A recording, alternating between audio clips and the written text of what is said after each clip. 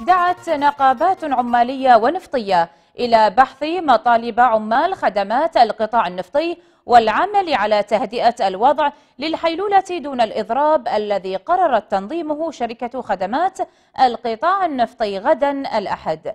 فيما أكدت النقابات على حقها في الإضراب رافضة سياسة تهميش المطالب النقابية والأبواب المغلقة.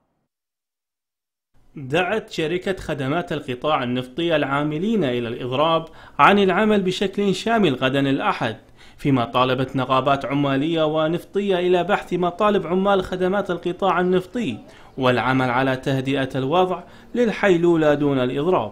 ورفضت النقابات تهميش المطالب النقابية بالإضافة إلى سياسة غلق الأبواب التي ستأتي بنتائج عكسية. معلنة عن تضامنها مع مطالب العاملين في شركة خدمات القطاع النفطي ومساندتهم في الإضراب لحين إغرار الحقوق. كما شددت نقابات نفطية على أن البعض يسعى إلى تكريس قمع الحريات النقابية من أجل تحقيق مكاسب شخصية وأشارت إلى أن الإضراب حق مشروع بسبب استمرار شركة القطاع النفطي في تجاهل المطالب وإغلاق أبوابها في وجه ممثلي العمال وعدم الجلوس معهم على طاولة الحوار.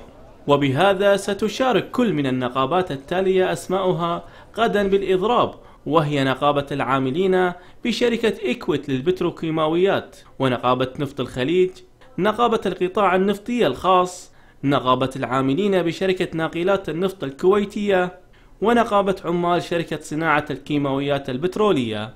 وفي أولى ردود الفعل طالب نائب مجلس الأمة نبيل الفضل الدولة بأن تجد بديلا لهذه الكوادر ضعيفة الإنتاجية عالية المخاطر على حد قوله وشدد على ضرورة فصل كل من يضرب عن العمل ليوفر على ميزانية الدولة راتبه المتضخم دون مبرر. وتساءل الفضل عن الطريق الذي نأتمن من خلاله على مصدرنا الوحيد للدخل. وهو بيد اتحادات ونقابات تهدد بإضرابات تشل القطاع النفطي وتصديره.